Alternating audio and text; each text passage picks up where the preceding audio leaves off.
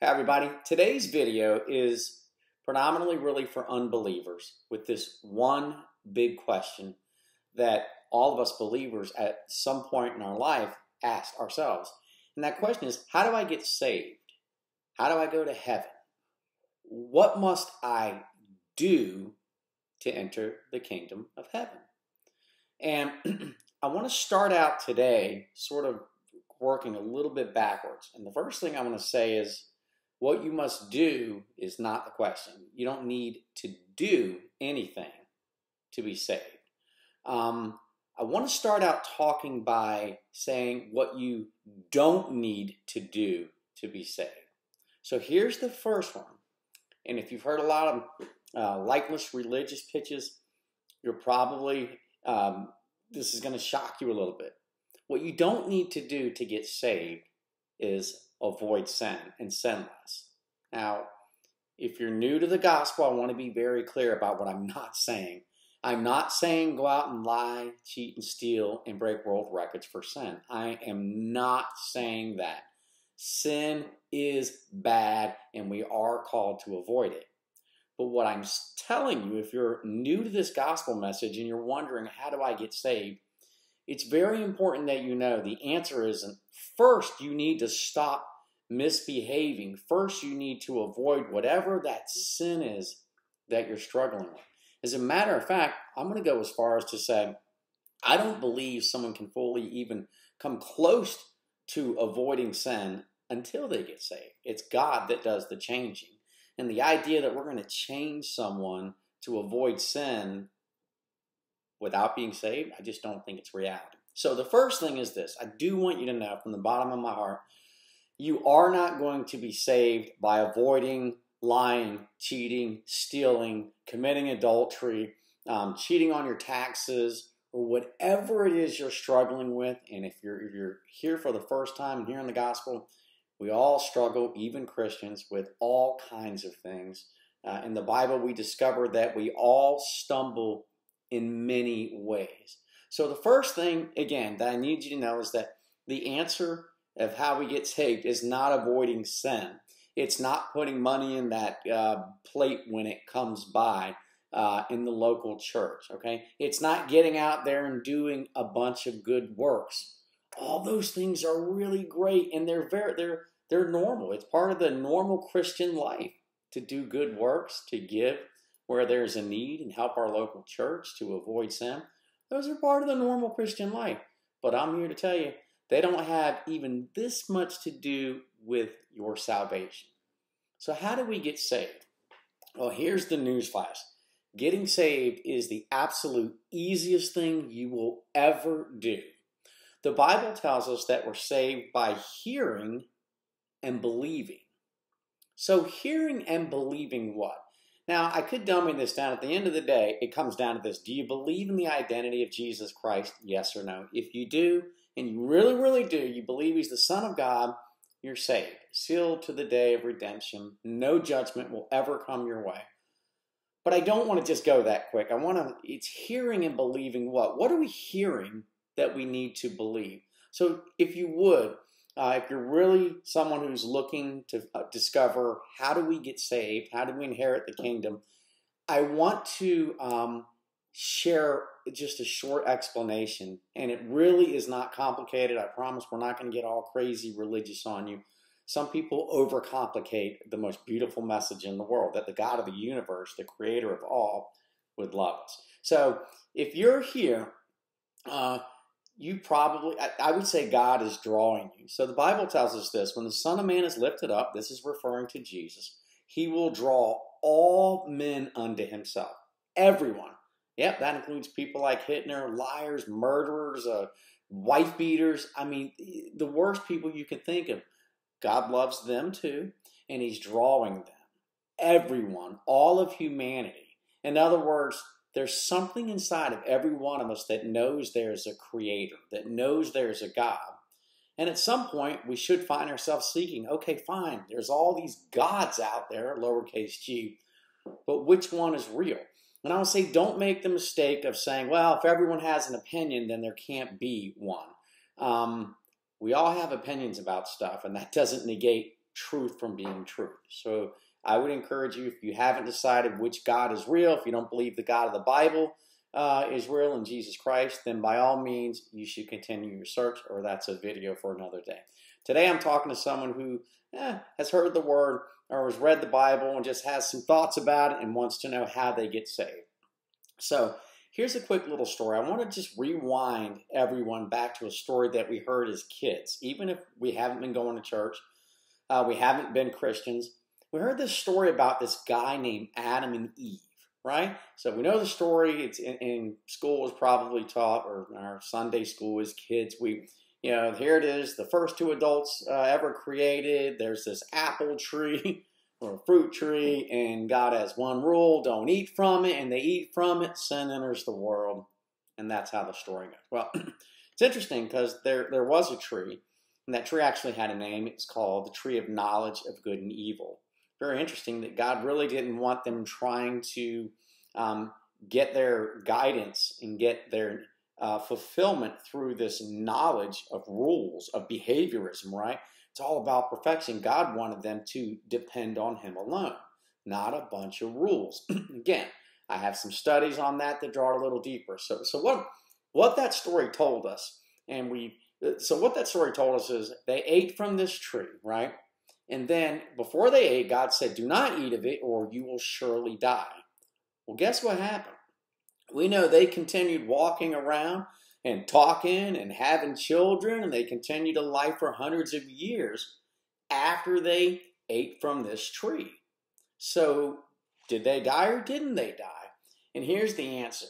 What God was what God was referring to in this garden for Adam and Eve is if they ate from this tree, they would die spiritually. So, what that means, and that's been passed down, is every human being, although we live physically, our problem is that we are spiritually dead to God. And God is trying to save all of humanity. The will of God is that none would perish, not one. So, if you're even saying, some people would say, well, well I don't know if God would want to save me. You don't know what I've done. I'm telling you, I don't care what sin you've committed and how many times you've committed it. I don't care if you've been a horrible parent or if you've done the unthinkable. I'm here to tell everyone that God died for the entire world, that whosoever will believe in his son, that God would stand in, in their place, pay for their sin to give them life. All right? So I just want to make sure that we know that the gospel is an invitation. The good news from God is an invitation for everybody. So getting back to this, um, Adam and Eve, they eat, they die spiritually. Okay. So from that point forward, what they need is not a bunch of rules. And I know we hear this from some TV preachers and, and some church buildings what they need isn't about isn't I got to avoid sin, I got to behave better. No. What they need is spiritual life. They need to be born again. There's a verse in the Bible Jesus meets this guy named Nicodemus and Nicodemus is some big religious elite guy and he says, "Hey, how must I be saved?" And ultimately what we discover is Jesus says, he doesn't say you need to uh, you know, sin less, lie less, cheat a little bit less on your taxes what you need is to be born again. And he's saying you need a spiritual birth. You need to be spiritually alive in order to enter the kingdom. Yes, we need our sins forgiven, but you not sinning is not going to help you get spiritually uh, reborn again. And God's heart is that we would all become children of God. And that happens when we are spiritually born again. And here's the great thing being spiritually born again requires zero outward action on your part. It's inward. It's as simple as this believe. Believe what God said His Son has done for you and who He is. And that is it. It's not about being dunked in a pool of water. It's not about going to church every Sunday. It's not about sinning less. It's about one thing it's about believing, right? So Adam and Eve, they die spiritually. And immediately, skipping all the stuff in the Bible, you don't need to be a theologian to be saved, right? Long story short, we see just sin is just like running rampant in the world. uh, humanity is just all over the place lying, cheating, stealing. And God has a rescue plan all along. And it's the it's the most unlikely story that no lifeless religion, and there are plenty of them, would ever dream up this one, right? It's so easy that the religious ego cannot handle how Christianity saves us. And here it is, right? It's so easy that here we are, we are the sinners, we're the evil ones, we're the liars, the cheaters, the stealers, the adulterers, and on and on and on. We've all got our own little dirty closet, now don't we? Even us Christians. So we're the ones committing the crime, if you will. And remember, um, all men have sinned. There's not a human being who hasn't sinned. And if God is a just God, if He's a just God, we all would agree that sin must be punished, right? Which in that case, we're all in trouble because the Bible says the wages of sin is death. But it gets crazy. So, God, the creator of all, who created us, He's got an amazing rescue plan. He comes down in the flesh, Jesus, right? In the beginning was the Word, and the Word was God, and the Word was with God, and the Word became flesh. This is God is Jesus. God says, I'm going to come down in the flesh. I'm going to die for your sins. I'm going to die for the sins of the entire world. And I'm going to be the full payment. I'm going to take all the punishment on myself. This is what Jesus says for every one of us, no matter how bad our sin is. Jesus says, I'm going to take the punishment for every human being. I'm going to let them spit on me. I'm going to let them nail me to a cross. And my blood shed will be the full payment for every sin ever committed that's been committed in the past, being committed today, and that will be committed in the future. So we see that, right? Jesus comes, he dies on a cross, but that's where we get forgiven of sins, right? Whoever, whoever believes this message, right? What God is calling you to do is believe it. Now, look, it's easy to believe. If you just get out there and try hard, God might be okay with you. Just try, try, try, maybe. A lot of religions push that message. What separates Christianity from all these lifeless religions of the world is God says, no, no, no. I love you so much that I will stand in your place. You must do nothing but, but believe it. Receive it. I'm giving you this free of charge. I'm giving you life. I'm giving you eternal salvation. All you need to do is believe what I've done for you and receive it. And some people say, No, thank you, I'm not buying. There's no way God would ever do that for us. I reject it. So let me read a couple of verses to you. This is Romans chapter 10, verse 13. He says, Everyone who? Everyone, that's all of humanity, anyone who calls on the name of the Lord will be saved. So we now know that anyone who Jesus, saved me. It, it, it begins with this. We have to realize and acknowledge I believe I've got a problem with sin. I believe I have fallen short of God's holy and perfect standard, that I'm not perfect. And this is all of us, by the way. There's no one who's not. I don't care if you have a, if we're just looking with lust. We all have some type of sin, especially during our entire life, that needs to be paid for. So we have to acknowledge it first. And then we say, I need to be saved. Well, saved from what? Saved from, you know, we need to be forgiven from our sins. And once we're forgiven from our sins, immediately upon believing, the most important thing that we need is life.